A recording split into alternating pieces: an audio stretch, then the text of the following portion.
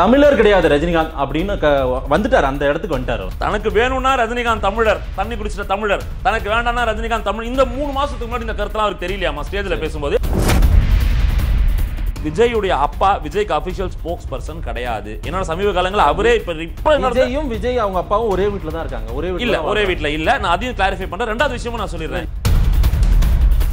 தேசியம் தெய்வீகம் இதுக்கு முன்னாடி தமிழ்நாட்டுல யாராவது பேசியிருக்காங்களா? முத்துராமலிங்க தேவர் பேசியிருக்காரு. அப்ப அவர் வந்து தமிழர் இல்ல. இவர் கருத்துப்படி பார்த்தா தேவரே தமிழர் கிடையாது. ஏன் தெரியுமா?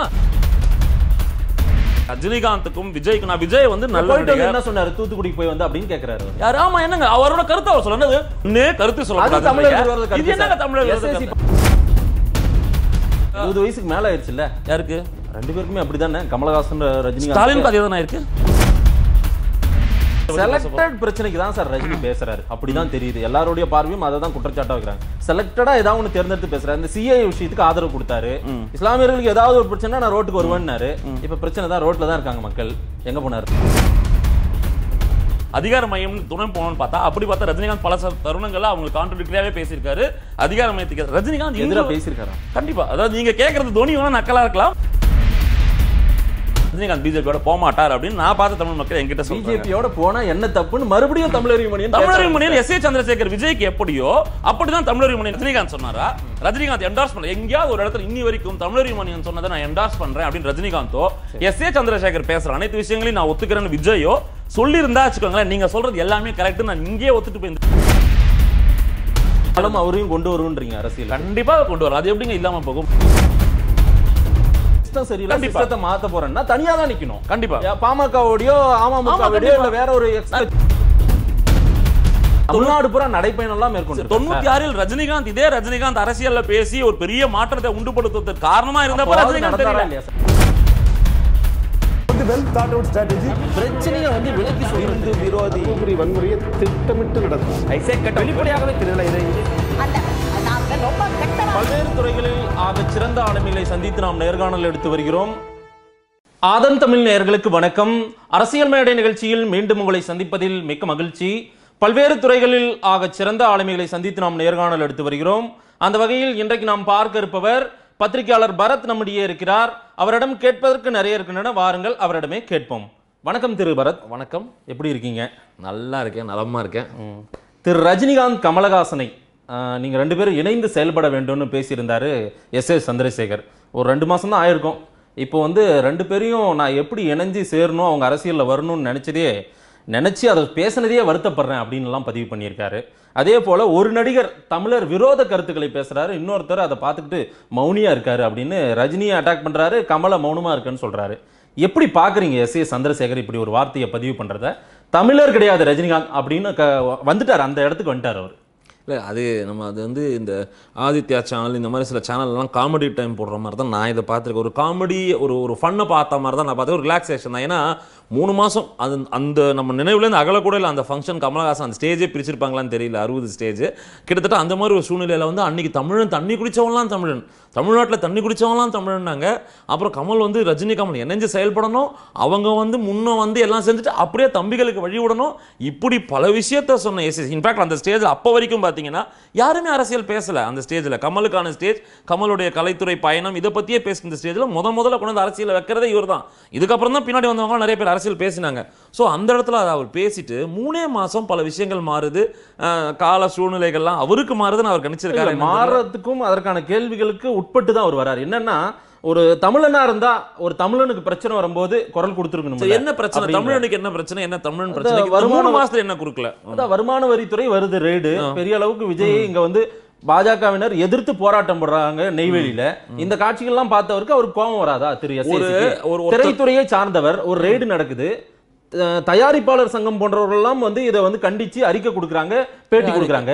பேட்டி அறிக்கை கொடுத்த மாதிரி எனக்கு பெருசா ஞாபகம் இல்லை. பட் ஒரு விஷயம் கொடுத்தாங்க. கொடுத்தாங்க. ஒரு தனிப்பட்ட மனுஷனுடைய ஒரு ரெய்டு ஒருத்தருக்கு போகுதுன்னா ரஜினிகாந்த் வரணும் கமல் வரணும் வரலன்னா அவன் தமிழன் இல்லன்றது நடிகர் நான் ஒரு. கேள்வி கேட்கிறேன். உச்சபட்ச நடிகர் விஜய்க்காக குரல் கொடுக்கலாம் அந்த இடத்துல நீங்க சொல்றீங்க. விஜய்க்கு குரல் கொடுக்கணும் தமிழ் இல்லைன்னு ஆயிடுச்சா? இல்ல நடிகர்ன்ற அடிப்படை கிடையாது. அவர் துறையை சார்ந்த உள்ள ஒருத்தருக்கு பிரச்சனை ஒரு விஷயம். நல்லா புரிஞ்சுக்கோங்க. அது சரியா தவறோ அத பத்தி சும்மாவது வாய்ஸ் கொடுத்துருக்கணும் எதுக்கு வாய்ஸ் எல்லாத்துக்கும் வாய்ஸ் தான் இதுக்கான விஷயங்கள் ஃபர்ஸ்ட் கிளாரிஃபிகேஷன் வரட்டுங்க. விஜய் தரப்புல இருந்து விஜயை விரும்பல அவரே அவர் அது விஷயமா கிளாரிஃபிகேஷன் சொல்றது. அவரே அவர் விரும்பல.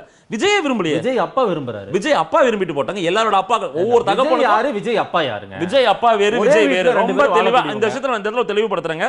விஜயுடைய அப்பா விஜய்க்கு அபிஷியல் ஸ்போக்ஸ் பர்சன் கிடையாது. என்னோட சமீப காலங்களில் அவரே இப்ப இப்ப விஜயும் விஜய் அவங்க அப்பாவும் ஒரே வீட்ல தான் இருக்காங்க. ஒரே இல்ல ஒரே. வீட்ல இல்ல. நான் அதையும் கிளாரிஃபை பண்றேன். ரெண்டாவது விஷயமும் நான் சொல்லிடுறேன். நீங்க புது தகவல் நிஜமா ஒரே வீட்ல இல்லைங்களே. விஜய் வந்து வேற இடத்துல இருக்காரு. இவர் வடபழனி அந்த இடத்துல இருக்காரு அவர் தனி குடும்பம். சரி, அப்படி கூட. தனி குடும்பங்களா இருக்கு அது வழி வந்த- அது எல்லாருமே அப்படிதான் இருக்கும். பட் ஒரு அப்பா வழி வந்தவர் தானே விஜய்? அப்பா வழி வந்தவர் தான். அவரே சொல்லியிருக்காரு.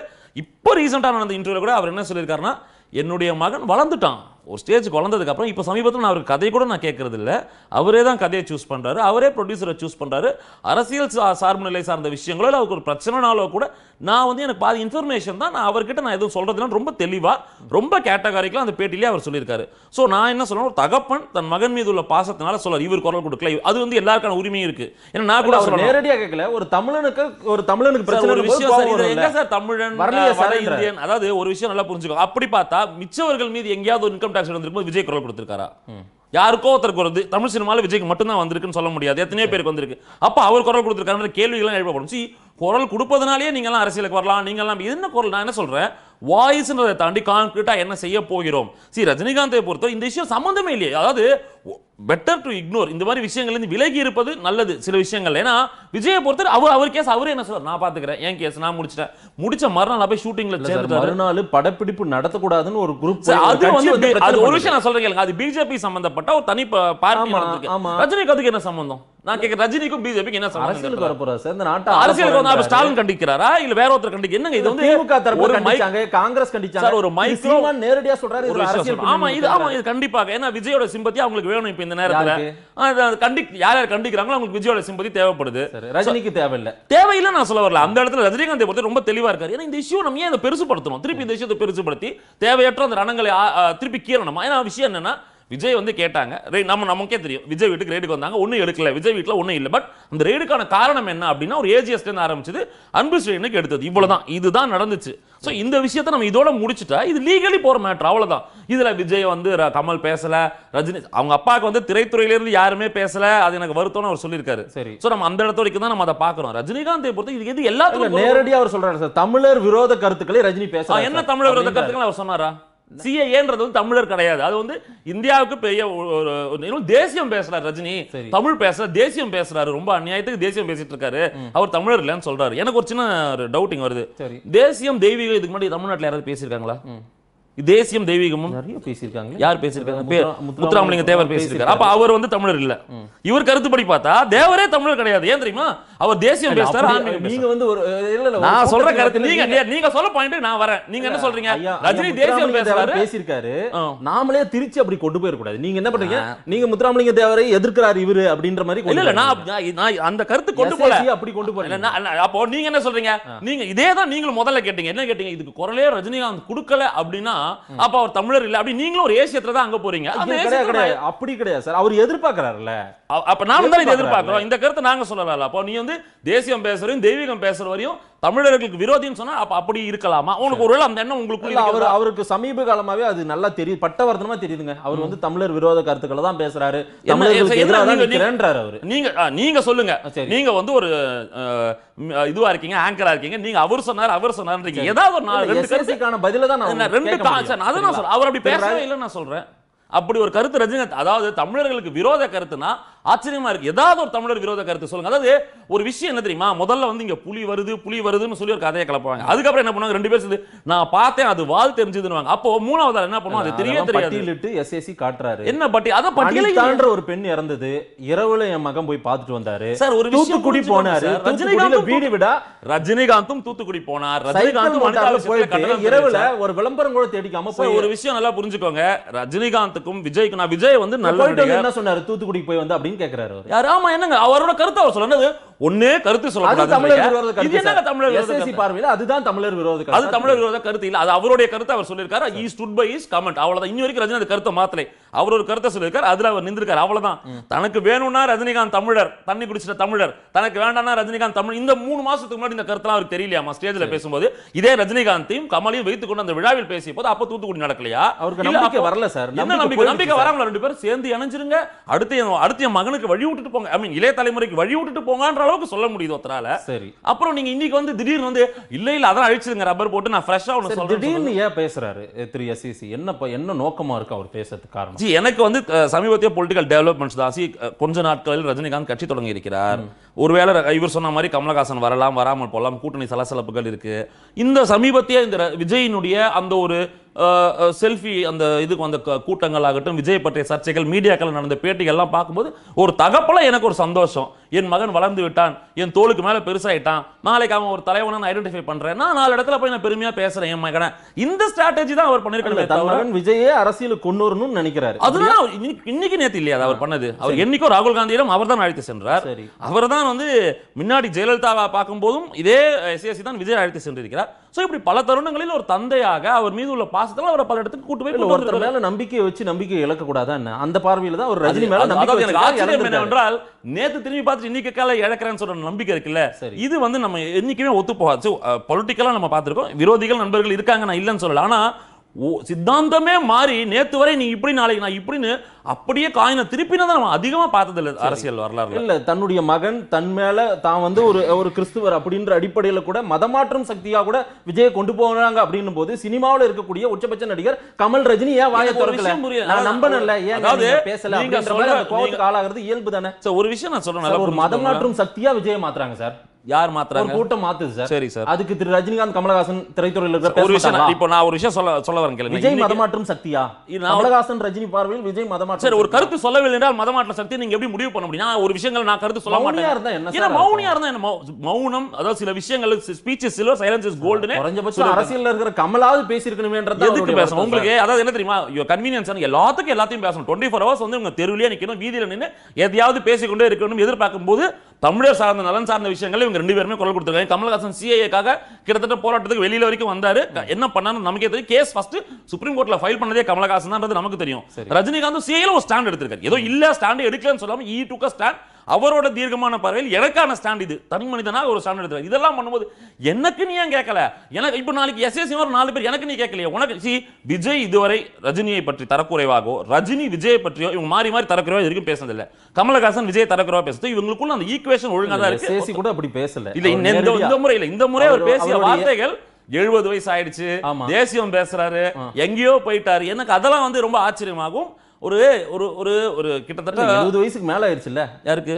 ரெண்டு பேருக்குமே அப்படிதானே? கமலஹாசன் ரஜினிகாந்த் ஸ்டாலினுக்கு அதே தானே இருக்கு? சரி. எழுபது ஸ்டாலின் வராரு. நான் இல்ல நான் பொதுவா கேட்டேன். நான் நான் பொதுவா. வயசை பற்றி நான் பேசும்போது பரத் சார். இல்ல நான் நான் நியாயமா பேசுவேன். உங்களுடைய உங்களுடைய நோக்கம் ஸ்டாலினை வைத்து ரஜினியை பேசி வேற அவருடைய நீங்க. எஸ்எஸ்சி பத்தி நான் நான் பேசும்போது பொதுவா எஸ்எஸ்சி ரஜினி கமல் மூணு பேரும் கொண்டு வரேன். நான் பொதுவா வயசு தேவையில்லாம பேசுறேன். ஸ்டாலினை கொண்டு உங்களுடைய சொல்லு. திட்டம் அது. இருபத்தி ஒண்ணு உங்களுடைய திட்டம் நான் சொல்லட்டுமா? உங்களுடைய திட்டம் விஜய் விஜய் விஜய் ரஜினி விஜய் ஏதோ ரெண்டு பிம்பங்களாகும் இருவரு அவங்களுக்கே தெரியாம அவங்களுக்கு எதிர் எதிராக நிக்க வைக்கணும்னு நீங்க கட்டமைக்கும் போது கட்டமைக்கல? சார். என்னோட நோக்கம் அது இல்ல நீங்க அதுதான் கேட்டீங்க திருப்பி திருப்பி. அதே வார்த்தையில தான் வரீங்க. வருமான வரித்துறை விஷயத்திலே பாருங்க. விஜய்க்கு ஒரு ஒரு பிடிப்பு நடக்குது. அதே மாதிரி இவருக்கு வந்து ஒரு ஒரு ஒரு தாழ்வு நடக்குது. அவர் வந்து வெளியேற்றம் படலமா கொண்டு வராங்க. அதாவது ஒரு விஷயம் நல்லா வாபஸ். வாங்குறாங்க. உங்களுக்கு இதை திருப்பியும் நான் தெரியும். சீமான் சொல்றாரு. சீமான் சொல்லட்டுங்க. நான் சீமான் எனக்கு நான் என்னை பொறுத்தவரை நான் ஒரு பத்திரிகையாளர் எப்படி பார்க்கறேன் உங்களுக்கும் தெரியும். தெரிஞ்சுக்கிட்டே தான் இதை கேட்கறீங்க பரவாயில்ல. அதாவது ஒன் க்கு கீழே இருக்கிறவங்களுக்காக அப்படின்னு பண்ணப்போ ரஜினிகாந்த் மட்டுமே இந்த இது எப்படி தெரியுமா தளங்கள்ல பேசுறாங்க. அது ஏன் இது என்னவோ? ஒட்டுமொத்த சசிகலாவுக்கும் ரஜினிகாந்துக்கும் என்னென்ன கேசஸ் இருக்கு என்னென்ன இருக்கிறது நீங்க தராசு தட்டில் வச்சு ரெண்டுத்தையும் மெஷர் பண்ணி பாருங்க. அப்போ நான் ஒரு கேஸ் படலம் இருக்கு. வேற வேற பல ரீசன்ஸ்க்கும் இருக்கலாம். நான் இது மட்டுமே சொல்ல முடியாது சொல்ல- அவங்களுக்கு அதே ஒரு என்னை பொறுத்தவரை நீங்க சசிகலா கேஸ் எனக்கு ஐடில கேளுங்க. ரஜினிகாந்தை பொறுத்தவரை ரூல் புக் சார். நீங்க கேட்கணும்ல சார். நீங்க ஒரு நான் நான் கேக்குறேன் சார். ரூல் புக் படி ரூல் புக் படி ரஜினிகாந்த் விஷயத்துல நான் பேசுறேன். சசிகலா கேக்குறேன் சார். நான் சசிகலா அடுத்து கேட்பேன். ஆனா ரஜினிகாந்தை பொறுத்தவரை அது என்னமோ உலகத்திலே ரஜினிகாந்துக்கு மட்டும் தான் விட்டுக்கலாம் போப்பா. ஒன்லி ரஜினிகாந்த் பெனிஃபிஷரி நீங்க சொல்லிட்ட மாதிரி ஒரு பிம்பம் கட்டமைக்கப்படுகிறது. சரி.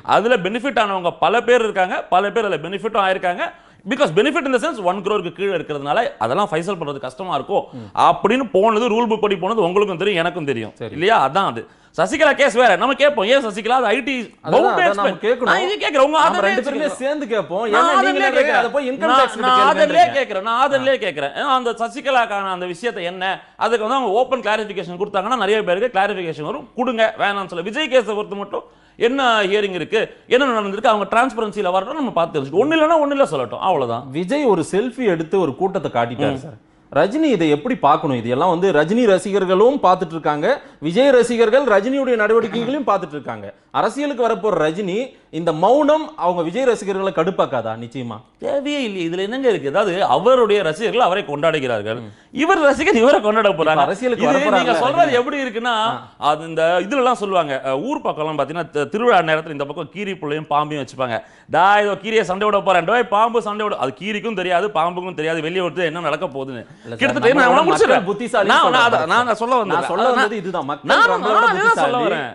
நான் அதே தான் சொல்ல விஜய்க்கு ஒரு பிரச்சனை போது இவங்க எல்லாம் குரல் கொடுக்கலையேன்னு அதாவது எஸ்எஸ்சி கோவப்படலாம் ரைட்டு அவங்க ரசிகர்கள் கோவப்படுவாங்க நாளைக்கு ஓட்டு போடுறாங்க சார். அது அது என்ன ஏதுன்றது மக்கள் நீங்க சொன்ன மாதிரி தான் மக்கள் ரொம்ப புத்திசாலி. இதுல யாரு என்ன எப்படின்றது அவங்களுக்கு தெரியும்.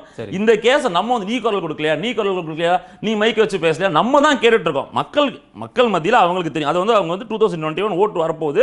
யார் ஃபர்ஸ்ட் எலெக்ஷன் நிக்க போறாங்க யார் உள்ள வர போறாங்க யார் அன்னைக்கு வந்து கேம்பெயின்ல இருக்காங்க யார் பின்னாடி இருக்காங்கிறது நம்ம அன்னைக்கு தெரிஞ்சிடும் அன்னைக்கு அந்த வேர்டிக்ட் வரும்போது நம்ம எல்லாருமே. செலக்டட் பிரச்சனைக்கு தான் சார் ரஜினி பேசுறாரு. அப்படிதான் தெரியுது. எல்லாருடைய பார்வையும் அதை தான் குற்றச்சாட்டா வைக்கிறாங்க. செலக்டடா ஏதாவது ஒன்று தேர்ந்தெடுத்து பேசுறாரு. இந்த சிஐ விஷயத்துக்கு ஆதரவு கொடுத்தாரு. இஸ்லாமியர்களுக்கு ஏதாவது ஒரு பிரச்சனை நான் ரோட்டுக்கு வருவேன்னாரு. இப்ப பிரச்சனை தான் ரோட்ல தான் இருக்காங்க மக்கள். எங்க போனாரு அவர்? என்ன சொன்னாரு? இஸ்லாமியருக்கு பிரச்சனைனா வருவேன்னு சொன்னாரு. பட் அதுக்கு முன்னாடி ஒரு வார்த்தை சொன்னாரு. இந்திய இஸ்லாமியர்கள் யாருக்காவது ஏதாவது ஏதாவது பிரச்சனை இருக்கா? முழுவதும் போராட்டம் சார் ஒரு விஷயம் நல்லா புரிஞ்சுக்க நான் திருப்பி அகைன் அங்க தான் வரேன். இந்திய இஸ்லாமியர்களுக்கு ஏதாவது பிரச்சனையா? இதுல ஏதாவது ஒரு பிரச்சனையான்னு தான் கேட்டார். இவங்க அதாவது போராட்டம் நடக்குது நான் இல்லைன்னு சொல்லல. நான் போராட்டத்தை தப்பாவே சொல்லல. போரா- பிரச்சனைன்றதுனால தான் போராட்டமே. என்ன பிரச்சனை? சரி என்ன பிரச்சனை சொல்லுங்க? அதான் அவங்களுக்கு வந்து இந்த எங்களை வந்து குடியுரிமை அற்றவர்களா அந்த நாடற்றவர்களா இல்லைன்னா. சென்ட்ரல் கவர்மெண்ட் அவங்களே இந்த கெசட்லயே காமிச்சிருக்காங்க. இது இந்தியாவில் உள்ள இந்திய? இஸ்லாமியர்களுக்கு மக்களுக்கு ஒரு நம்பிக்கை இல்லை பரத் சார். அது நம்ம வந்து திரு ரஜினிகாந்த் நம்பிக்கை கொடுக்கணும்ல எங்க போயிட்டாரு? எங்க தான் சொல்லிட்டாரு. தெளிவா ஒரு- விஷயம் நல்லா புரிஞ்சுக்கோங்க. பதினோரு நாளா வண்ணாரப்பட்டியில உட்காந்துட்டாங்க சார். பெண்கள் நான் குழந்தை தப்பே சொல்லல. எங்க போனார் ரஜினிகாந்த்? எதுக்கு சார்? நான் போராட்டத்து காலத்துல அங்க நிக்க ரஜினிகாந்தை பொறுத்தவரை இந்த இஷ்யூவில் ரொம்ப தெள்ள தெளிவாக ஒரு விஷயம் சொல்லியிருக்காரு ரஜினிகாந்த். இது இந்தியாவில் உள்ள எந்த விதமான ஒரு முஸ்லிம்களுக்கு எந்த ஒரு துளியளவு பாதிப்பு வராது வெளியேற்றப்பட மாட்டார்கள். ஒன் இது வரைக்கும் யாரையும் வெளியே போகணும்னு சொல்லல. இந்திய குடி இஸ்லாமிய மக்களை யாரும் இந்தியாவில் உருது பேசுகிற தமிழ் பேசுகிற ரெண்டையும் நல்லா நோட் பண்ணிக்கோங்க. உருது பேசுற தமிழ் பேசுற எந்த ஒரு இஸ்லாமியரையும் வெளியே அனுப்பிச்சா ரஜினிகாந்த் முதல்ல வருவேனாரு. இப்போ இந்த போராட்டம் வந்து ஒரு பீதியினால அவர் சொன்ன வார்த்தைகளை நான் வரேன் ஒரு பீதியால நீங்க என்ன என்ன பண்றீங்க? உன்னை எல்லாரும் எங்களுக்காக போராட்டத்தை இறங்கி இருக்கீங்க சி அது அவங்க உரிமை. போராடுவது அவங்களோட உரிமை. ஆனா ரஜினிகாந்தை பொறுத்த நான் எப்படி பார்க்குறேன்? பிகாஸ் நான் என்டார்ஸ் பண்ண முடியாது. நான் அவர் பேசி நான் கேட்கல அவர்கிட்ட சொல்லலை. But as far as what I little I have seen is இவங்களுக்கு பிரச்சனை இவங்களுக்கு ஏதாவது ஒண்ணுனா நான் கண்டிப்பா குரல் கொடுப்பேன் வெளியே வருவேன்னு சொல்லியிருக்காரு. எனக்கு தெரிஞ்சு இப்போ வரைக்கும் இந்திய இஸ்லாமியர்களுக்கு எந்த பிரச்சனையும் இல்லை. அந்த நாலு ஸ்டேட் சொல்லியிருக்காங்க இல்லையா? அங்கேருந்து வர அந்த முஸ்லிம்கள் அந்த ரெஃப்யூஜிஸ் அதுக்கு தான் பிரச்சனையே தவிர அதை நீங்க உடனே முடிச்சு போட்டு இங்க பிரச்சனை வந்துச்சு See, போராடுவதனாலே அவங்களுக்கு பிரச்சனைன்னு சொல்ல முடியாது. புரியுதா? உடனே வந்து- பீதியை போக்கணும் இல்ல திரு ரஜினிகாந்த். யார் பீதியை போக்கு- கொடுத்தாரு அன்னைக்கு சொல்லிட்டாரு. அவர் அவர் வந்து சார், இல்லை. நான் மறுபடியும் மறுபடியும் இதே கேள்வி வைக்கிறேன். எல்லாத்துக்கும் ரஜினிகாந்த் குரல் கொடுக்கணும் உங்களோட முடியாது. ஏதாவது இது இல்ல இல்ல நான் அப்படி நினைக்கல சார். அவர் வந்து ஆதரவு சந்தோஷம். ஆனா.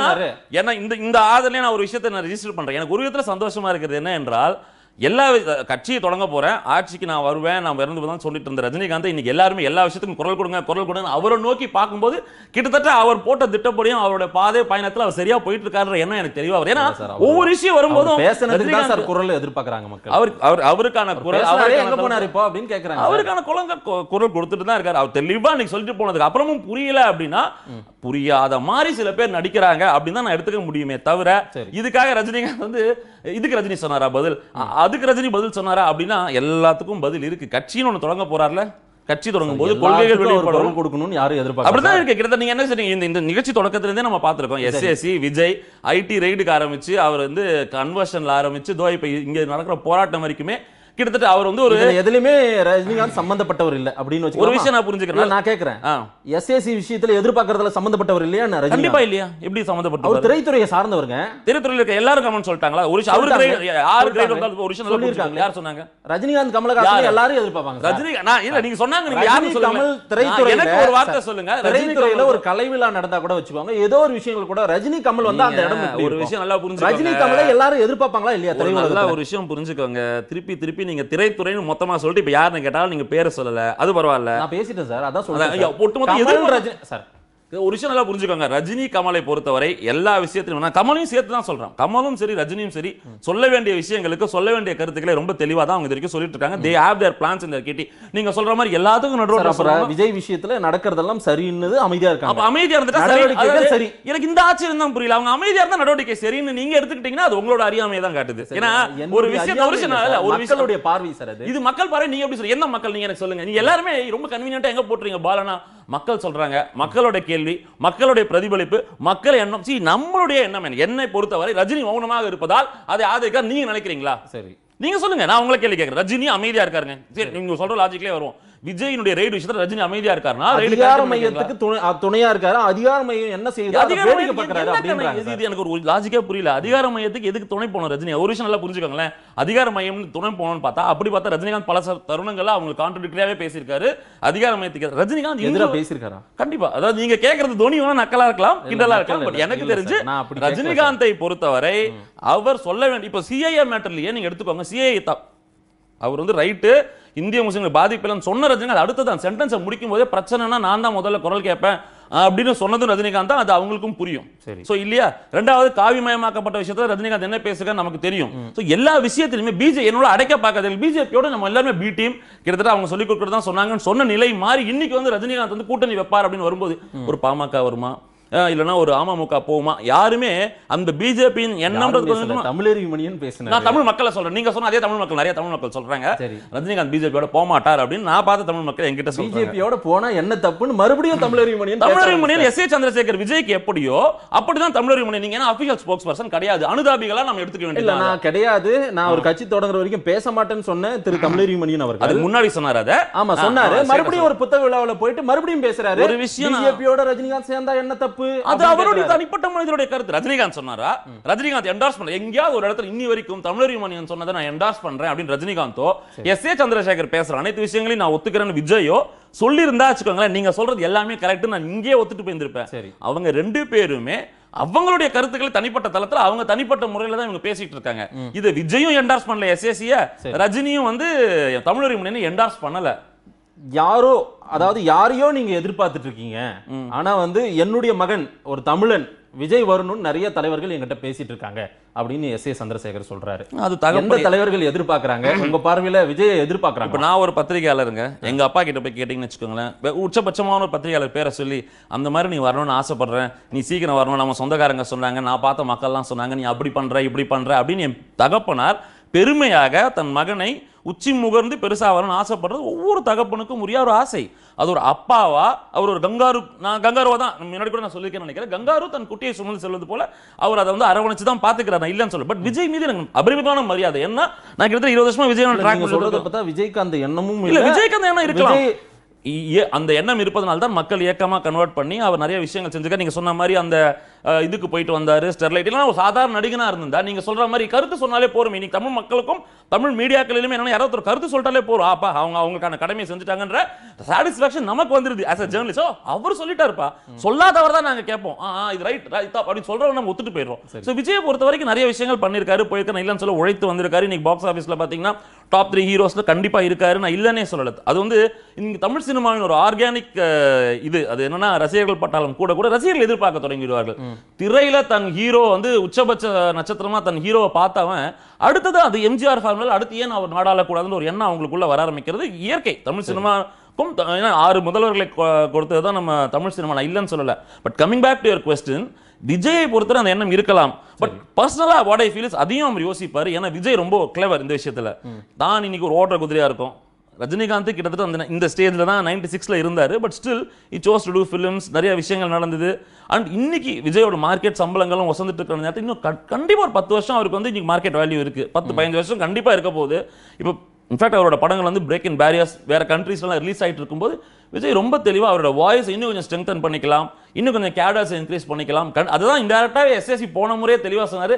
நீங்க முடிச்சிட்டு பேட்டனை இங்க ரிலே ரேஸ்ல பாஸ் பண்ணுவாங்க. நானூறு மீட்டர் ரிலே ரேஸ்ல ஓடி போய் இன்னொருத்தர்ட்ட கொடுத்தனே அவர் ஓடி போய் ஃபினிஷ் லைன்ல கொடுப்பாங்க. அந்த மாதிரி நீங்க வந்து இளைய சமுதாயத்திற்கு வழிவிடுங்கள் அப்படின்னு அவர் சொன்னதை நான் இப்படி தான் பார்க்குறேன். எனக்கு தெரிஞ்சு விஜய்க்கு அந்த ஆசை இருக்கு but it's too early for அது அவருக்கும் தெரியும்.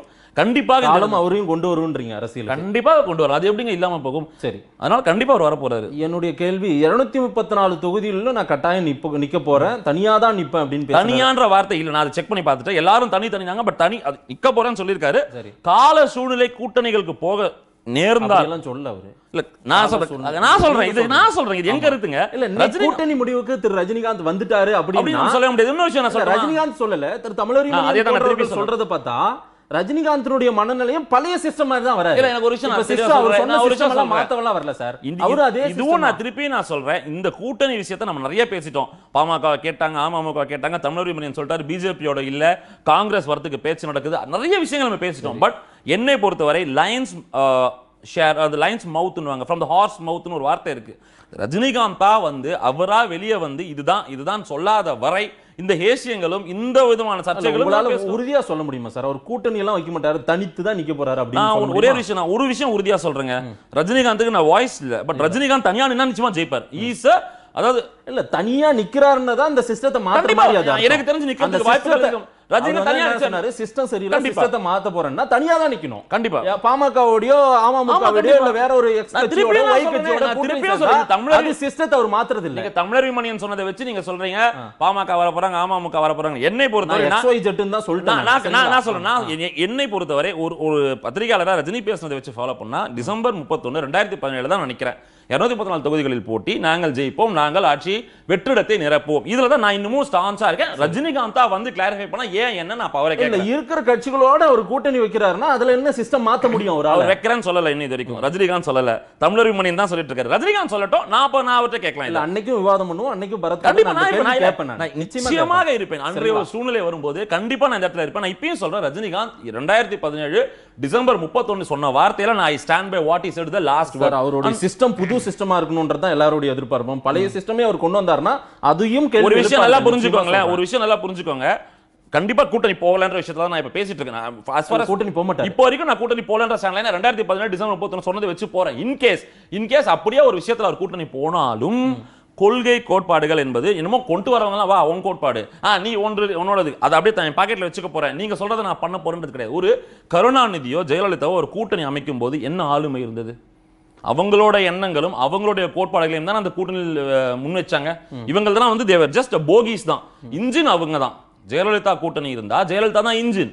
கருணாநிதி கூட்டணினா கருணாநிதி தான் இன்ஜின். ரஜினிகாந்தை பொறுத்தவரை ஒருவேளை ஒருவேளை நீங்க எல்லாம் சொல்ற மாதிரி ஒருவேளை அவர் சிஸ்டம் மாத்துறாரு கூட்ட ஒருவேளை சந்தர்ப்ப சூழ்நிலையில் கூட்டணி அமைய நேர்ந்தாலும் அந்த இன்ஜின் ரஜினிகாந்த் அவருடைய எண்ணங்களும் அவருடைய கோட்பாடுகளும் இந்த சிஸ்டம் சரி பண்ண நான் இதெல்லாம் கொண்டு வரேன். இது கூட ஒத்துட்டு இருந்தா இந்த வண்டியில பின்னாடி ஒட்ட அட்டாச் பண்ணிக்கோ. என் இன்ஜின் இல்லைன்னா இந்த இன்ஜின் தனியா போகும். இதுதான் ரஜினிகாந்தா இருக்கும்னு நான் பாக்குறேனே தவிர. நீங்க உடனே வந்து அப்படியே வந்து மொத்தமா வாரி நீங்க வாங்க. நீங்க அப்படியே இருக்கிறனால நான் எனக்கு வேற வழியில் நீங்க எல்லாம் என் கூட வந்தாதான் உண்டுன்னு ரஜினிகாந்த் சொல்றான்ற மாதிரி ஒரு பிம்பம் கட்டமைக்கப்படுகிறது. அதை நான் முதல்ல இல்லைன்றதை மறுத்துறேன் சரி. அதாவது தூத்துக்குடி துப்பாக்கி சூட்ல சமூக விரோதிகள் ஊடுருவிட்டாங்க அப்படின்னாங்க. ஒரு சம்மன் அமைச்சிருக்காங்க போய் ரஜினி ஆஜராகி அதற்கான விளக்கத்தை கொடுக்கணும்ல. ஏன் அங்க போக மறுக்க சட்டப்படி சட்டப்படி சம்மனுக்கு ரிப்ளை தரணுமா? போய் ஆஜராகணுமா? சட்டப்படி நீங்க சட்டம் உங்களுக்கு ஒரு மிகப்பெரிய குற்றச்சாட்டு சட்ட- சொல்லிருக்காரு இருங்க, அதான், 99 நாள் அந்த நூறாவது நான் கேட்கறதுக்கு பதில் சொல்லுங்க. வந்த எல்லாருமே அரசாங்கமே அதுதாங்க. நான்- முதல்வரே என்ன சொன்னாருன்னா நான் டிவியை பார்த்து தான் இந்த விஷயத்தை சரி, நான் ஒரு விஷயம் நான் தெரிஞ்சுக்கினாரு. சொல்லிடுறேன், இருங்க, ஆனா இவருக்கு ஏதோ புது தகவல் கிடைச்சிருக்கு. அப்படின்னா இவர் நேரடியா போய் ஆஜராகி தான் விளக்கம் சரி, நான் ஒரு விஷயம் சொல்றேன் நல்லா கேட்டுக்கோங்க. ஒரு குற்றச்சாட்டை ரஜினிகாந்த் சொல்லியிருக்காரு உங்க பாஷையிலே. குற்றச்சாட்டு சொல்லியிருக்காரு ரஜினிகாந்த்னா குற்றச்சாட்டுக்கு பதில் வேணுமா? குற்றச்சாட்டு இல்ல. தீவிரவாதிகளா மாத்திட்டாரு. சரி சமூக ஓகே சமூக. விரோதிகள்னு வச்சுப்போம். இந்த குற்றச்சாட்டுக்கு ரஜினி பதில் சொல்லணும் கரெக்டா ஆமா. உங்களுக்கு தேவை உச்சபட்ச தேவை ரஜினி பதில் சொல்ல வேண்டியது. ரைட்டா சட்டத்தில் இடம் இருக்கு. சட்டத்தில் என்ன சொல்லுது? அவர் வர முடியலன்னா அவர் எழுதி கொடுக்கலாம். கவுன்சில் மூலமா லெட்டர் தரலாம். அதுல வந்து ப்ராப்பரா பதில் சொல்லணும் இவ்வளவுதானே சட்டத்தில் இடம் இருக்குல்ல? இதுக்கு முன்னாடி பல விஷயங்கள்ல இதே மாதிரி தேவைப்பட்ட நேரத்துல கருணாநிதிக்கோ ஸ்டாலினுக்கோ ஜெயலலிதாக்கோ நடந்திருக்கு. இல்லைன்னு சொல்லல. பல கமிஷன்ல இருந்து கூப்பிட்டுருக்காங்க இல்லையா? இதுக்கு முன்னாடி. அப்ப எல்லா வாட்டி எல்லாருமே ஆஜராக அவருடைய ஷூட்டிங் ஷெட்யூல் இருக்கு. அவர் எழுதி கொடுக்குறாரு முடிஞ்சு போச்சு மேட்டர் அவங்களே ஒத்துக்கிட்டாங்க. அந்த அருணா ஜெகதீசன் கமிஷன் சொன்னாங்க எங்களுக்கு பதில் தேவை. எதை வச்சு சொன்னீங்க? எங்களுக்கு பதில் தேவை. அது முடிஞ்சு போச்சு. விஷயம் அங்கேயே முடிஞ்சு போனதுக்கு அப்புறம் ரஜினிகாந்த் வரல. அதாவது எப்படி இருக்குன்னா அந்த உக்காந்தா குத்தம். களத்துக்கு போக மாட்டாரு அப்போ. எது எதுக்குமே களத்துக்கு வர இது என்ன இது? என்னங்க சார் களம் இது வந்து ஒரு சம்மன் பண்ணிருக்கேன் சம்மனுக்கு நான் ரிப்ளை கொடுக்குறேன். இதுவும் களம் நீங்க சொன்னீங்க ஆச்சரியமா இருக்கு. என் தூத்துக்குடிக்கு போன வரைக்கும் இது போக தெரியாதா? ஷூட்டிங் ஷெட்யூல் இருக்கு. ஷூட்டிங் முடிக்கிறேன் நான் உனக்கு தேவை பதில். டெட்லைனை நான் மதிச்சு அந்த நேரத்தை கொடுக்குறேன். எதுவுமே இல்லாம வாங்கி நான் பின்னாடி போட்டுக்கிறேன்னு சொல்லவே இல்லை. ஏதோ கொடுக்குறாரு. கவுன்சில் மூலமா ரிப்ளை வரப்போது. அவங்க அதுக்கப்புறம் அவங்க என்ன பாக்குறாங்களோ அதை தெரிஞ்சுட்டு மக்கள் போட்டோம் பாப்பாங்கல்ல ஏதோ ஒரு ஆதாரம். ரஜினிகாந்துக்கு ஏதோ ஒரு ஆதாரம் கிடைச்சிருக்கு அதை கொடுப்பாருன்னு தானே எல்லாரும் இப்ப கொடுக்க. மாட்டேன்னு சொல்லியிருக்காரு. ஐயோ நான் நேரம் வராதனால நான் கொடுக்க மாட்டேன். நான் கவுன்சில் ரிப்ளை நான் பாக்கெட்ல போட்டு கம்முன்னு உட்காந்துட்டு இருப்பேன். நான் என்னைக்கு போறேன் நான் கொடுக்குறேன்னு சொல்லவே இல்லையே. அவர் என்ன சொல்லியிருக்காரு? ரொம்ப தெளிவா விலக்கு கேட்க கேட்கப்பட்டிருக்கு. அது கூட அஃபிஷியலா ரஜினிகாந்த் சொல்லலை. நம்ம நம்ம வந்து அகெயின் அந்த டுவெண்ட்டி ஃபிஃப்த் டேட் நாளைக்கான டேட்டை வச்சு நம்ம பேசிட்டு இருக்கோம். ரஜினிகாந்த் ஆஜராகவில்லை விலக்கு கேட்டிருக்கிறார். கவுன்சில் மூலமா கொடுக்குறேன்னு சொல்லியிருக்கான்றதை வச்சு தான் நம்ம பேசுறோம். ஸோ அதே பொறுத்தவரை நான் அகைன் திருப்பி ஒரு விஷயம் தான் சொல்றேன். அது லீகலி ஒரு விஷயம் இருக்கும்போது நான் கொடுக்குறேன்னு சொன்னதுக்கு அப்புறம் உங்களுக்கு தேவை விடை தான். அங்க ரஜினிகாந்த் பர்சனலா வந்து நிக்கணும்ன்றதை தாண்டி அதுல தான் மோட்டிவ் வருது. அது சொல்லும் போது தான் திருப்பி திருப்பி ரஜினி களத்துக்கு வரலாம் அங்க நிக்கல நிக்கல நாலு பேர் கேட்கும்போது நாலு பேருடைய மோட்டிவ் மேல டவுட் வருது. உன்னோட மோட்டிவ் என்ன இருக்கணும் சார் அந்த குற்றச்சாட்டு சொன்னீங்க அதுக்கு ஆதாரம் என்ன சார்? இதோ நான் ரிட்டன் எவிடன்ஸ் அதுவும் ரஜினிகாந்த் பேப்பர்ல எழுதி தரல வித் ப்ராப்பர் கவுன்சில் அட்வொகேட்ஸோட தரேன்றாரு. அது பத்தாது. நீங்க நேரம் வந்து கொடுக்கணும்னு சொல்லும்போது அகைன் அந்த இடத்துல அந்த மோட்டிவ் மேல ஒரு டவுட் வருது. இந்த சிஏஏ போராட்டம் ரொம்ப வீரியம் பெற்றே கொண்டே இருக்கிறது. தமிழ்நாட்டிலே ஒரு மூணு நான்கு இடங்கள்ல அதிகபட்சமா சென்னையிலே ரெண்டு ரெண்டு மூணு இடங்கள் தமிழ்நாடு புறம் இப்போ போராட்டமா வெடிச்சிருக்கு. எப்படி பாக்குறீங்க இதை? இந்த மக்கள் அது? இந்த இந்த சிஏ போராட்டத்தை பொறுத்த மட்டும் இது the huge responsibility is on central government ஏன்னா அவங்க வந்து இது இது வந்து அவங்களோட பிஆர் மெக்கானிசம் சி அவங்க ஒரு டிவைஸ் பண்ணியிருக்காங்க. இது இந்த விதத்துலையும் உங்களுக்கு ஆபத்து இல்லை பிரச்சனை இல்லை சேஃப்னு சொல்லியிருக்காங்க. அதை ஒட்டி தான் இந்த இங்க இருக்கிற ஆளுங்கட்சியும் ஓட்டு போட்டிருக்காங்க லோக்சபால. ஸோ ஓட்டு போ அது கொண்டு வந்தது ஆளுங்கட்சி பிஜேபி ஓட்டு போட்டது ஏடிஎம்கே இங்கே தமிழ்நாட்டில் இது நடந்துகிட்டு இருக்கு. ஸோ இந்த மாதிரியான சூழ்நிலைகளில் இவங்களுக்கு தான் அந்த பிஆர் மெக்கானிசம் வச்சுட்டு இருக்கிற அஃபிஷியல் பிஆர் மெக்கானிசம் வச்சுட்டு இவங்களுக்கு தான் இல்ல இது உங்களுக்கு பிரச்சனை கிடையாது. இந்த மாதிரியான விஷயம் எக்ஸ்பிளைன் பண்ணி அவங்களுக்கு புரிய வைக்க வேண்டிய வேலை வந்து இவங்க கிட்ட தான் இருக்கு. யாரு? State and central government should share the responsibility and make sure இந்த அலிபி இந்த ஃபியர்ஸ் அதெல்லாம் கிளியர் பண்ண வேண்டியது இவங்களுடைய பொறுப்பு. அவங்க என்ன கேட்கறாங்க ஒரு நெகோசியேஷன் இப்போ டெல்லியில பாத்தீங்கன்னா ஷைன் பேக்ல இன்ட்ராகுலேட்டர்ஸ் போட்டிருக்காங்க. நாலு பேர் போய் பேசியிருக்காங்க. அது அந்த ரிப்போர்ட் இன்னைக்கு சப்மிட் பண்ணிருக்காங்க சுப்ரீம் கோர்ட் இந்த மாதிரியான லீகலி அவங்களது எமோஷனலி அவங்க இருக்கிறது இதெல்லாம் எப்படி என்னன்றதை அனலைஸ் பண்ணி ஹேண்டில் பண்ணி பண்ண வேண்டியது அவங்க தான் சரி. Central government and state government brought in the legislation so நம்மளை பொறுத்த வரைக்கும் தமிழ்நாட்டிலும் சரி இந்த ஒரு அச்சத்தை போக்குவது என்றால் கண்டிப்பாக ஒரு டயலாக் தேவை. இது உங்களுக்கு இல்லை பிரச்சனை வராது. அப்படி உங்களுக்கு பிரச்சனைக்குரிய கிளாஸஸ் என்னென்ன இதில் பார்க்குறீங்க என்பிஆர் பார்க்குறீங்களா அது என்ன? அது என்ன மாதிரி நம்ம கொஸ்டினர்ஸ் இருக்கா? அந்த கொஸ்டினர் உங்களுக்கு கஷ்டம் தருதா? எந்த மாதிரி? சி யார் ரியலாக பாதிக்கப்பட்டிருக்காங்களோ அந்த சமூகத்தை சேர்ந்த ரெப்ரசன்டேட்டிவ்ஸும் ஆளும் கட்சி தரப்பை சேர்ந்த ஒரு அபிஷியல்ஸோ உட்காந்து பேசி ஒரு காமன் கிரவுண்டுக்கு வரணுமே தவிர அதை பொதுவெளி தளத்துல வந்து மொட்டையா உனக்கு பிரச்சனை நாளைக்கே ஒன்று அனுப்பிச்சிருவாங்க அது எந்த அளவுக்கு அண்டர்ஸ்டாண்டிங் போயிடுச்சுன்னா அது அதுவே ரொம்ப பயமா இருக்கு அந்த. பொதுவெளியில் இருக்கிறவங்க நாளைக்கு ஓட்டு போட போறவங்க இன்னைக்கு இருக்கிற ஆளுங்கட்சி எதிர்க்கட்சி வரப்போறவங்க வராதவங்க அதுல எல்லாம் பங்கெடுக்கிறவங்க அந்த தேர்தல் களத்துல பங்கெடுக்கிறவங்க எல்லாருக்குமே அது சம்பந்தம் இருக்கிற ஒரு விஷயம். நாளைக்கு இந்த மக்களுடைய மனநிலை நாளைக்கு வரப்போறவங்களுக்கா இருக்கட்டும் அதே போல இருக்கிற எதிர்க்கட்சிகள் உள்ளிட்ட எல்லார் மேலேயும் இருக்கிற பார்வை எப்படி இருக்கு? இந்த களத்தை பொறுத்த மட்டும் எனக்கு பார்வை தான் நான் சொல்றேனே. ஒரு- ஒரு ஒரு issue it's burning issue CAA anti CAA protest அது ஸ்பைரலாக நிறைய இடத்துல போய்கிட்டு இருக்கு. மக்கள் மத்தியில் என்ன இது அப்படின்ற ஒரு அச்சம் இருக்கு. ஆனா ஒரு ச- ஒரு சாராருக்கு வந்து இது இது இந்திய முஸ்லிம்களுக்கு பிரச்சனை. நிறைய முஸ்லிம்களே இஸ்லாமிய சமூகத்தை சேர்ந்தவர்களே கூட நிறைய இடத்துல பேசுறதை நம்ம பார்த்திருக்கோம். பட் நான் தான் அகைன் வாட் ஐம் சேயிங் இது நாளை வரைக்கும் இந்த பிரச்சனை இழுத்துட்டே போக போகுது? ஏன்னா என் தேர்தலுக்கு இன்னும் கிட்டத்தட்ட ஐம்பது வாரங்கள் இருக்கு. கிட்டத்தட்ட நாற்பத்தொன்பது வாரங்கள் நம்ம 50 வாரங்களா சொல்லிட்டதுனால ஆ, அதிகமா தெரியுது 49 சார். நான் ரொம்ப குறுகிய காலம் தான் சார். நாற்பத்தொன்பது வாரம் ஒரு இஷ்யூ அப்படின்றச்ச இது நாற்பத்தொன்பது வாரம் இது போகணும்னு நம்ம நினைக்கிறதே ரொம்ப ஒரு ஒரு நெகட்டிவான ஒரு தாட் போகாது. அது இருக்கக்கூடாதுன்றது தான் இருக்காதுன்னு என்னோட எண்ணமும் எனக்கு தெரிஞ்சு இந்த இந்த மேக்ஸிமம் பை மே. ஜூனுக்குள்ள ஒரு காமன் சென்ஸ் வில் ப்ரிவேல் நான் சொன்ன மாதிரி ஒரு சென்ட்ரலோ ஸ்டேட்டோ they will be very proactive ஏன்னா கோர்ட்ஸும் இருக்கு. ஏன்னா இது வந்து இங்கே நிந்திர போறது இல்ல இவங்க ரெண்டு பேரோட நிக்கிறது இல்ல இது ஒரு டிஸ்டர்பன்ஸ் இருக்கு. இப்போ ஷைன் பாக்கே பாத்தீங்கன்னா எத்தனை நாள் கழிச்சு கோர்ட்ல ஏறி வந்து ஒரு இம்பார்ட்டன்ட் பிளேஸ் லாக் ஆயிருக்கு. நம்ம என்னன்னு பேசி முடியும் ஸோ இந்த மாதிரி விஷயங்கள்லாம் போய்கிட்டு இருக்கு ஸோ அடுத்தது அவங்க கிட்ட போகும். ஸோ இந்த மாதிரி விஷயம் எங்கேயோ ஒரு இடத்துல ஒரு காமன் சென்ஸ் ஒரு காமன் கூட ஏன்னா டிமானிட்டைசேஷன் வந்தப்பையும் கிட்டத்தட்ட இதே மாதிரி பிரச்சனை ஆக்கிட்டத்துல தாண்டி நம்ம வந்தோம். ஸோ ஒவ்வொரு மேஜர் இஷ்யூஸ் வரும்போது அதனோட கொஞ்ச நாள் கழிச்சு அது வீரியம் கொஞ்சம் கொஞ்சமா குறையும் போது அதனோட பேசி ஒரு காமன் சென்ஸ் ப்ரிவைல் ஆகும் தான் நான் பார்க்குறேன் ஓட்டர்ஸ் மத்தியில் it have a backdrop minority votes எப்படி இருக்க போகுது? ஏன்னா அதுதான் நிறைய பேர் வந்து ஃபிஸ்டிங் அந்த minority votes based on CA இஷ்யூஸ்ல நிறைய பேர் அது வந்து ஒரு- சங்க் ஓட்ஸ்னு பார்க்குறவங்களும் இருக்காங்க. நம்ம இல்லைன்னு மறுக்க முடியாது. அது வந்து உடனே பொலிட்டிக்ஸாக யாருமே பார்க்கவே இல்லையா? எல்லாருமே அந்த எமோஷன்ஸ் தான் இருக்காங்கன்னா மேபி பாதிக்கப்பட்டவர்களோ பாதிக்கப்படுவோம்ன்ற பயம் இருக்கிறவர்களோ வேணால் போராட்டத்தில் இருக்கலாம். அதை கொண்டு ஓட்டு வாங்குறதுக்கான சில பேர் சில முயற்சிகளும் இருக்கலாம் நாட்டில். ஸோ இது எல்லாமே வந்து உங்களுக்கு அந்த towards we go towards the polls அப்போ கண்டிப்பா நமக்கு தெரியும். திரு திருமாவளவன் அவர்கள் சொல்றாரு எழுபது வயசுக்கு மேல சிலர் நாட்டை ஆளணும்னு எல்லாம் வராங்க. முப்பது வருஷமா அந்த களத்தில் நின்று போராடிட்டு இருக்கோம். ஏன் இந்த சிறுத்தைகள் ஆளக்கூடாத நாட்டை? அப்படின்னு சொல்லியிருக்காரு. அவருக்கு ஏன் ஸ்டாலின் மேல கோவம். இல்ல இது ஸ்டாலின். இல்ல, அவரு- அவருக்கே ஸ்டாலின் நீங்க நான் அவரை பிரிக்கிற வேலையை இல்ல நான் பிரிக்கிற வேலை இல்லைங்க. நான் நான் பொதுவா அவர் வந்து ரஜினின்னு சொன்னாரா? சரி. ரஜினி? வயசுக்கு மேல இப்ப. ஸ்டாலினுக்கு என்ன வயசு? ரஜினிகாந்த் தான் சொல்றாரு. ரஜினிகாந்த் தான் சொல்றாரு. நீங்க மீன் பண்றீங்களா? எனக்கு தெரிஞ்ச வயசு ஒரு முக்கியமான விஷயம் இல்லை. ஏன்னா கருணாநிதி தொண்ணூறு தொண்ணூறு வயதுகளிலும் திறம்பட ஆட்சி வயதும் ஆட்சிக்கும் நீங்கள் வந்து இது முடிச்சு போடவே முடியாது. ஏன்னா நம்ம இந்தியாவில் வாஜ்பாய் எந்த வயசில் பிரதமராக இருந்து இந்தியாவை முன்னேற்றி இந்த கோல்டன் குவாட்ரங்கெல்லாம் கொண்டு வந்தார் நீங்களே பார்த்தீங்க. மன்மோகன் சிங் பிரதமராக இருக்கும்போது என்ன வயசு பார்த்தீங்க? தமிழ்நாட்டில் கருணாநிதி இருந்தார் அவருக்கு என்ன வயசு பார்த்துருக்கீங்க? இன்ஃபேக்ட் பெரியார் அதனுடைய கடைசி காலம் வரைக்கும் ஒரு சோஷியல் ரிஃபார்மிஸ்டாக பொலிட்டிக்ஸ்க்கே வராமல் வெளியே இருந்து ஒரு பெரிய தாக்கத்தை உண்டு பண்ணின போது அவருக்கு என்ன வயசு நம்ம பார்த்திருக்கோம். ஸோ வயசு ஒரு ஃபேக்டரு என்ன பொறுத்த மட்டும் ஒரு கிடையாது. இது சொல்ற எல்லாருமே மக்களோடு ஒன்றி இருந்தாங்க கண்டிப்பா அதேதான். இப்போ நான் ஒரு விஷயம் நான் ஒரு விஷயம் சொல்றேன் கேட்டுக்கோங்களேன். மக்கள் பிரச்சனையே பேச இவர் என்னமோ நீங்க சொல்றதெல்லாம் தமிழ்நாடு பூரா பயணம் பண்ணவங்க. நீங்க அதாவது. இதே ரஜினிகாந்த் ஸ்டாலினை விடவா நீங்க ஏட்டிக்கு போட்டி ஸ்டாலின் எடுக்கிறீங்கன்னு வச்சுக்கோங்க. ஸ்டாலினை விடவா இதே ஸ்டாலின் தமிழ்நாடு பூரா நடைப்பயணம் எல்லாம் மேற்கொண்டு தொண்ணூத்தி ஆறில் ரஜினிகாந்த் இதே ரஜினிகாந்த் அரசியல்ல பேசி ஒரு பெரிய மாற்றத்தை உண்டு படுத்துவதற்கு காரணமா இருந்தப்ப ரஜினிகாந்த் தெரியல. இல்லையா சார்? நீங்க ஏதாவது சொல்றேன் ரஜினிகாந்தை பொறுத்த கருத்து சொல்லல அடங்கி இருக்கு நீங்க சொல்றது எப்படி இருக்குன்னா கிட்டத்தட்ட you are trying to portray Rajinikanth if someone உள்ளே கதவை சாத்தி கிரவுண்ட் லெவல் பாலிடிக்ஸ் தெரியும் அவருக்கு எல்லா கிரவுண்ட் லெவல் பாலிடிக்ஸும் தெரிஞ்சதுனால தான் சார் தொண்ணூத்தி ஆறு தேர்தலில் முதல்வர் ஆக வேண்டியவரே தள்ளி வந்திருக்கு அவ்வளவுதான். அன்னைக்கு திமுக ஜெயிச்சப்ப இருநூத்தி முப்பத்தி நாலு தொகுதிகளிலும் இவருடைய படங்கள் பொறிக்கப்பட்ட படங்கள் தான் எல்லா இடத்துலயும் இருந்துச்சு. அண்ணாமலை சைக்கிள் எல்லா இடத்துலையும் போச்சு. அது உங்களுக்கும் தெரியும் எனக்கும் தெரியும். நம்ம கன்வீனியன்ஸ் போனா இன்னைக்கு வந்து ரஜினி வெளியே வரல ஒன்றுமே பண்ணல. சி எல்லா எத்தனை சீஃப் மினிஸ்டர்ஸை தாண்டி எத்தனை பேரோட இருந்திருக்காரு? தைரியமாக கருணாநிதி ஃபங்க்ஷனில் ஜெயலலிதாவை புகழ்ந்தவர் ஜெயலலிதா ஃபங்க்ஷனில் கருணாநிதியை புகழ்ந்தவர். நீங்க ஆனா ரொம்ப கன்வீனியன்ட்டா இன்னைக்கு ரஜினி வெளில வருது இல்ல? அதாவது இது இது எப்படி இருக்குன்னா கேட்குற ஒருத்தர் புதுசா ஒருத்தர் கேட்டாருன்னா யாருப்பா அவர் ரஜினிகாந்த் கதவை சாத்தி வீட்டை பூட்டிட்டு வாயில பிளாஸ்டிக் உட்காந்து சார் தேர்தல்னா நடந்துருச்சு சார். பூத்து கால் பூத் கமிட்டி அப்பாயின்மெண்ட் ஆயிருக்குன்றது நம்ம சொல்ல வேண்டாம். அவங்களே பல பல தருணங்கள்ல அப்பாயின்மெண்ட் ஆயிருக்குன்றது மன்றத்துல வந்து கிட்டத்தட்ட முப்பதாயிரம் பூத்துகள் முப்பத்தஞ்சாயிரம் பூத்துகளுக்கு ஆல்ரெடி அவங்க போட்டாங்க. மன்றம் ஆக்டிவா இருக்கு அப்படின்னு நான் பாக்குறேன்.